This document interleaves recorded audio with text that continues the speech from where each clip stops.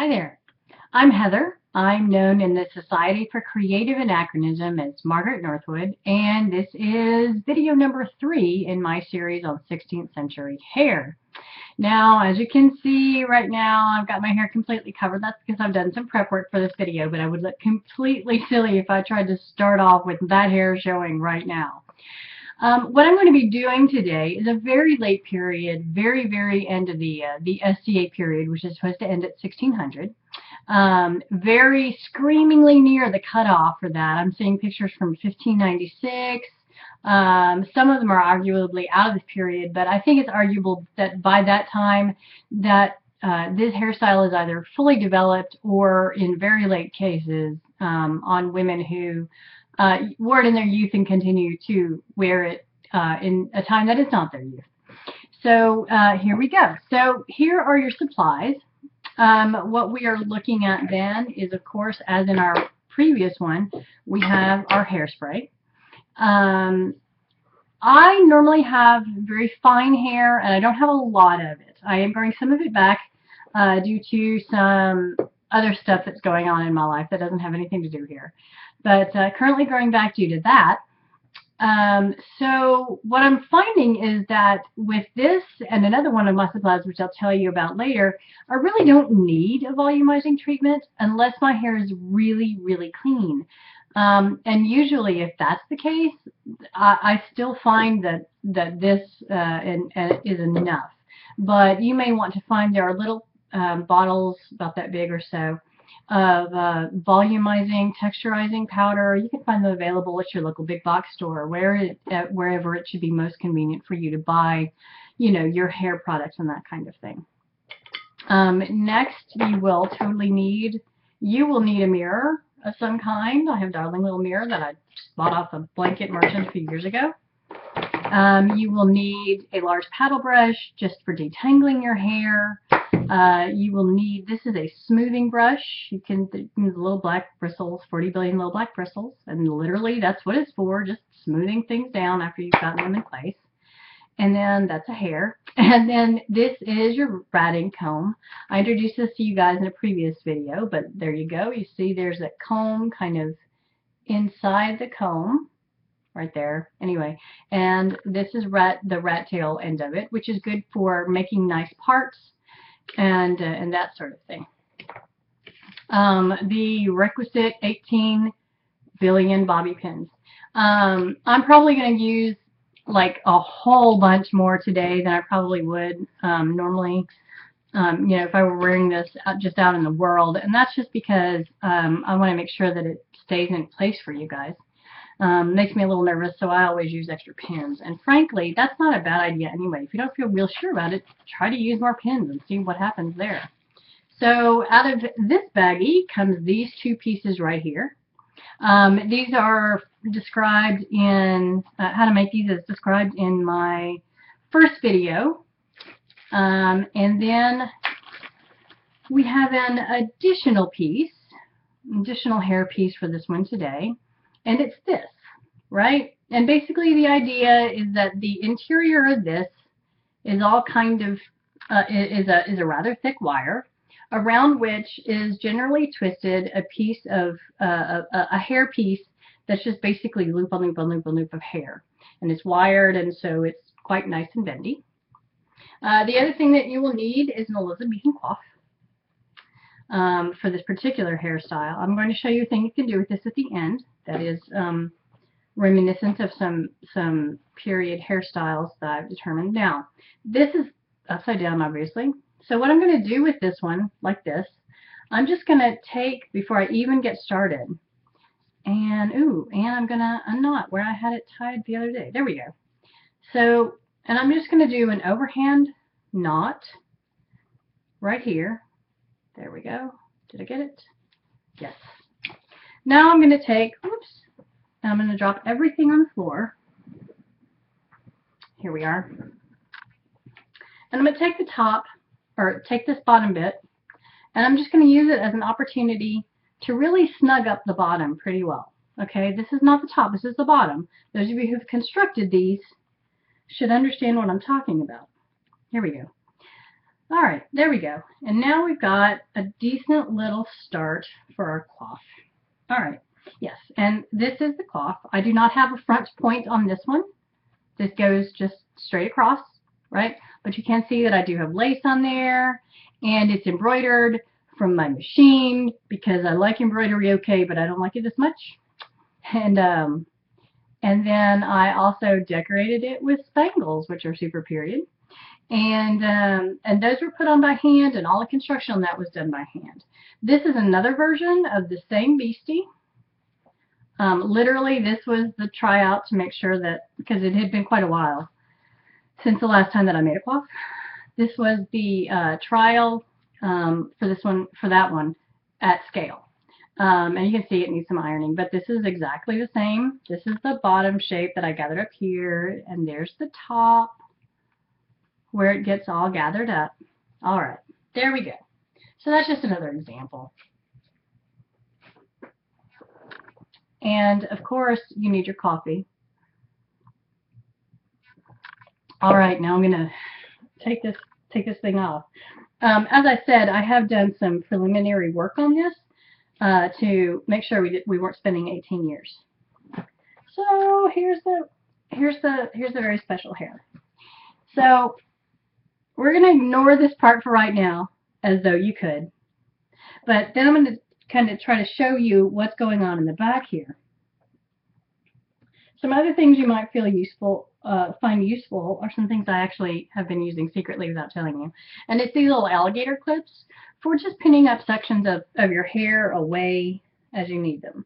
All right, now initially what I did, let me move this forward and kind of off to one side. Ooh, come here, you. And, oh heck, who knows.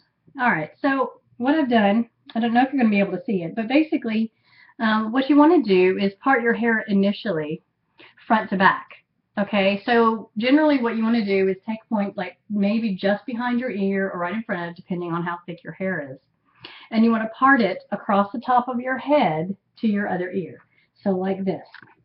Now, for those of us who have very fine or very thin hair or very fine, thin hair is in my case when you win the lottery, um, instead of making it directly across, maybe move it back some, an inch or two, toward the crown of your head. All right, then what you're going to do is you're going to take and you're going to divide the back half in half again, and you're going to make two braids as though you were Pippi freaking Longstocking. And now that you can see my braids, you can probably tell how very thin my hair really, really is. See? Right? Okay. And as you can tell to the list of supplies, we will also add some hair elastics. These are actually really big ones because I have a seven-year-old who runs them through the house and loses them, and then the cats play with them, and I'm sure that the entire collection is building a large and new civilization underneath the refrigerator. However, what I've done here is I've gone ahead and got the braid done. Now, I recommend for these braids, when you're making them, as you start them especially, what you want to do is be sure that you're braiding up and maybe even a little bit forward you know, for just as long as your arms will manage that. Um, sometimes our, arm, our arms get really, really tired, and that's fine. You can make it work. Just make sure it's as high as possible. So what I'm going to do now, I'm going to need my hairpins. All right. I'm going to take these two braids. I'm going to send them back, send them towards one another, and then I'm going to cross them. See? There, like this. I'm going to send them back the direction that they came. Okay? And I'm going to start almost roping them. So I'm going to take this front piece, take what's in front here, and I'm going to tuck it under like that. And again. All right. Here we go. And pull just a little bit. There we go. So you get it firm. Now I'm going to repeat it with the other side. Basically I'm just winding the braid back around itself. All right, see? And now I'm going to pin those in place. These are going to form a base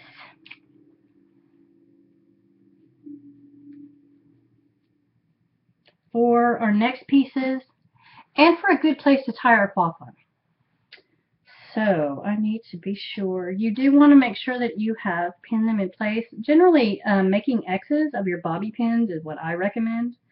Um, some folks out there might have some different recommendations. I would love to hear them because I do this okay, but I'm not necessarily fabulous with all things hair and would like to know if you have any other solutions.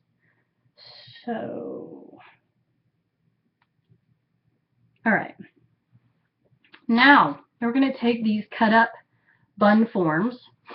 Um, if you guys uh, aren't interested in going back, basically you purchase one of these inexpensive bun forms. Um, four to six dollars. I needed a petite one because I don't have a lot of hair. Um, and then you cut them up and you put them on your head and you try them, you, you trim them to size. So basically, but what I'm going to be doing with these is forming an even better base because again, I don't have a whole lot of hair. I'm putting it right here. Basically, if I were a little girl wearing pigtails, I would be putting these basically in those places kind of in front of the braid so that they kind of back onto that braid. It, it forms kind of a backstop for them. Excuse me, the braids form a backstop for this. There we go. Is that going to stay? Yes. And I'm going to repeat that with the other side. And I'm just pinning right through this nylon over here. Now, I think that's going to stay pretty well. All right, the next thing we're going to do, and you can tell that my hair is extra special today. Yes, I made it extra special for you. Um, now we've got all this in place. We're going to leave that there because the next thing we're going to do is work with the other part of our hair. Now, um, I want to be clear that this particular order works for me. Um, the next part that we're doing um, may may mean that for you you need to switch and do your braiding in the back of your hair last because what we're going to do now is we're going to take our hairspray we're going to take our rat comb and I left a section undone but it looks like I may need to do more than just that section so you do not want a part with this we're going to spray our hair down you don't want a, you're not going to have a center part for this particular one. Um, we're all used to uh, to seeing the, um, and then you're going to take your rat comb and you're going to back comb the hair you just sprayed. Um, and I'll talk. Um, we're all used to seeing the heart-shaped headdress, heart-shaped hair of the latter part of the 16th century. And um, this would come about uh, slightly later. Some women just didn't look great with a heart shape um, heart-shaped hair, and they determined that um, they looked better with something that was a little rounder, um, maybe more squared off, but um, but still very much golly, but still very much uh, still very much in the realm of big hair. Um, squared off, not quite so heart-shaped as what had become popular at first. We have a few examples of where Elizabeth did this, but she did it with kind of frizzed hair. Excuse me. She did it with kind of frizzed hair, not quite what we're doing today. And I will do a I will do one on that on how you do a frizzy hair hairstyle or how I do a frizzy hair hairstyle. I don't do it very often because I have to put my hair up in tiny little pink foam rollers overnight and I, I just don't sleep well like that. Um, I can occasionally get it done if I am going to be going to an event and say I'm staying at a hotel and for whatever reason we know that we're not going to be getting to the event until like later in the day. Um, and if I want to do something along the lines of, um, ah, here we go. If I want to do something along the lines of uh, of that, what I can do is just do a pin curl and then throw a head covering on over it until it's time for me to, to, to take that out at the event. Um, but I will show you that one day as well. Um, and then there's some others that, that look like that um, but just flat out require a frontal wig. All right, so we have gotten, as you can see, we have teased our hair out to um, lengths that uh, only only your hairdresser should know about. Um, and so now what we're going to do, I'm going to, give me just a second, Mala. There we are. I am wearing my little Elizabethan jacket today. This is this is my little Elizabethan jacket. There you go. Um, and and partlet and smock, so that you guys can get an example of what it looks like to put this on while you're wearing the clothes, or at least some of the clothes. All right, so now what I'm going to do is I'm going to take this piece right here. I'm going to fold the ends under because I know, um, you know, I've been using this piece for a few years now and I'm, I'm pretty familiar with how long the pieces need to be. So I folded the ends under like that. Now what I'm going to do is I'm going to kind of gently brush this forward, right? And I'm going to put this in front as though I were almost as though I were mounting like some kind of fake braid or crown braid. So right there. Okay, then I'm going to take this hair. Actually, I could do something intelligent and um, pin this in place. You want to pin, there we go. I had it curved back. You don't necessarily want it curved back, but you do want it curved down. And pin in place. Don't with these, the wire is actually big enough that I would not try to get your uh, your pins around the wire, especially if they're these little, the ones like this, as opposed to the, the more open uh, sorts of hairpins that are more U-shaped than this. And so what I'm going to do is I'm just going to gently gather up all this hair that I never knew I never knew I had until I was doing these hairstyles, right? And from here we reached futz o'clock. So I've taken the ends, those, those really long ends, and gathered them up and I made a tiny little bun that is going basically at the back of the hairstyle here. I'd show you, but it doesn't make any sense. I, I tried to uh, do this video before, and one of the things that I noticed was that that just, that's not actually helpful. So trust that there's a tiny little bun of just the ends of the hair that I've got that I've tucked up. Okay, so now what, what we're doing, like I said, oh, right here, we're going to take, here we go. You're going to make sure that you have adequate coverage. And you're going to take your smoothing brush. Let me come in here and you're going to do that. Okay. And from here, it's pinning and futzing and pinning and futzing. Let me, you know what, maybe I will use my little mirror if I can get it to play nicely. Here we go. Now, you want to watch your shape because it's real easy to accidentally go Dr. Quinn, medicine woman, with this particular hairstyle, and that's not actually going to be super helpful for you. What you're going to be doing, you can either take, where am I? Um, you, uh, you can either take kind of your rat comb and just kind of use it to stroke these back into place, which works. If you're very, very gentle, that will work. Otherwise, you're just going to be combing out all of your poofing, and that's not going to be the look that you want.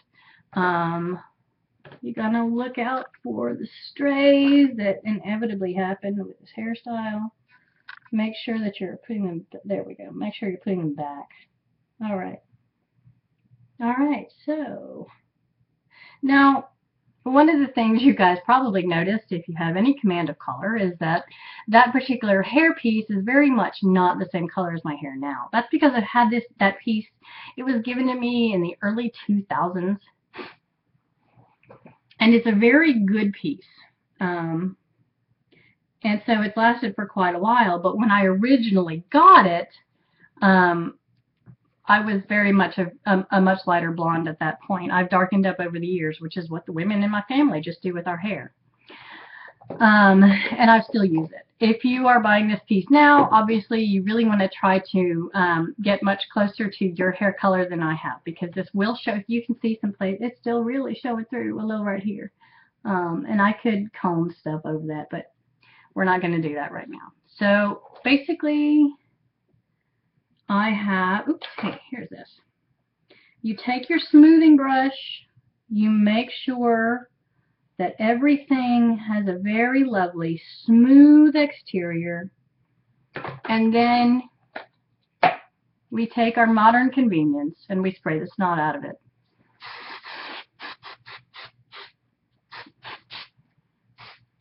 Now, you also want to spray the back. Um, one of the things that that I have noticed is that unless you, and sometimes even then, unless you really shellac into place these little tiny hairs at the back of your head, they're going to fall out the bottom of your coif. And you'll be arguing with them all day. If you shellac them in place, maybe you put like some cross pins, maybe. Sometimes if uh, if you know the winds are feeling generous that day and your hair is feeling it, um, they will stay in place for like half the morning. Um, but I find that I often argue with them all day. There's just a little sliver icicle hairs. Now, we're going to talk now about these little side hairs. You can see here that I've got this going on. There's actually some portrait evidence uh, where women did very small amounts of frizzing right here. So if you have a very narrow bore um, um, narrow bore curling iron, that could be a good and very period thing for you to do. Um, I think it would look cool. As it is, those are just hairs that I'm just going to tuck back for today. All right. There we go. Now, some of you may find that you get a lot more traction out of spraying the heck out of it and then using the smoothing brush so that it stays very smooth for you in the rest of the day. Um, I did it the other way around this time. So now we're going to get our cloth, which is, of course, come a little bit untied, snug up the back again so that we have, you know, a tight, we have a nice tight back. Now, we're going to take our cloth and we're not going to do another overhand loop here, and I'll show you why here in a bit. So we're going to take our cloth, put it on our noggins, very carefully. There we go. All right. Now, we have this out to either side. One thing we want to do, we want to find the point of the top of the coif. We want to put it there as, as close to the crown of our head as possible. And there's a reason for this. I will tell you here in a moment. In the meanwhile, what we're going to do is we're going to take our, our cords, we're going to take them up. They're going to go in front of the little cut up bun pieces where we put those and behind our long wired piece.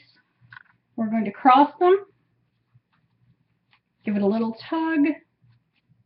There we go. We're going to bring them back down we're going to, yep, I got a few hairs that have already escaped. We're going to try to avoid those as we tie our cloth in place. It's life. Certainly life for me anyway. Um, and then we're just going to, to you know, do a, a basic knot, or not knot, but um, bow that you can release yourself. Sorry, I'm having kind of a time. I got quite a few hairs back here that came loose. Alrighty. And then one other thing, of course, is using your mirror, your little hand mirror, and using it to look at the back of your of the nape of your head to make sure you've got it, you know, all laced into place. We can see here. Oh, we can't see here. There we go. See where things are. I actually need to tie that higher. But I'm not going to fuss with that now because we're going to show you the next thing. So going to pull this forward a bit because if you have a cloth, this doesn't this isn't going to work out today. But if you have a cloth, mm, annoying. And sometimes you find you need to futz with it some more. There we go. If you have a cloth that has quite wide wings with a, a decoration on the side, sometimes you will find that you can make it so that it goes around the edges. Just depends on your cloth. You you need it to have quite a deep uh, a deep length from from from the back of your head to to the front cheek pieces and, and front pieces. Um, and so here we go. Now I want to show you one of the other benefits of this particular this particular hairstyle. This is a little, just a little hair design, a hair bob thing that I did with some wire and some freshwater pearls on the end of a regular bobby pin. See? I could make it into look like a tiny little, you know, flower but if I wanted to. But really, it's just a pearl decoration thing. And one of the things you can do with this is just kind of open it up and then you can